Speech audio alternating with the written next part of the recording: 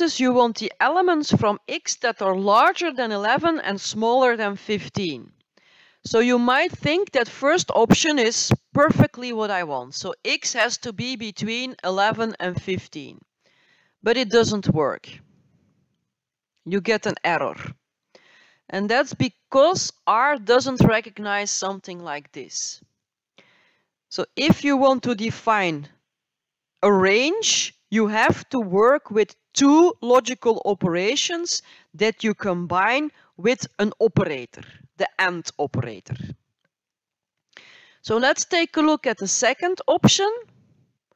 So here I want to retrieve from x, square brackets, all the elements where x is larger than 11 and smaller than 15.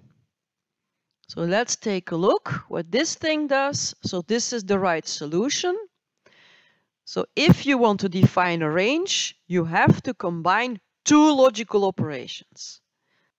Option number three. Why is this not working? because basically what you're doing here is from x you retrieve everything that is larger than 11. So that's a vector, the result of this. And here, what comes after the AND operator is again a vector, but now with all the elements from x that are smaller than 15. So here. So basically what you're trying to combine here is two vectors. Two vectors of numbers, not two vectors of booleans. So that's strange for him. And that's why you do get a result, but with a warning. The result makes no sense. So the AND operator is specifically created for combining booleans.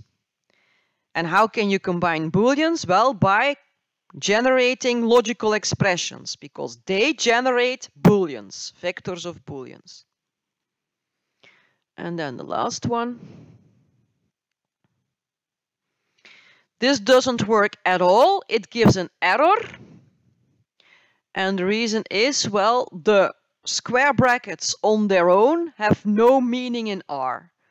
So square brackets always have to be written after the name of a variable. You cannot use them on their own because then you get an error. So option two was the right solution here.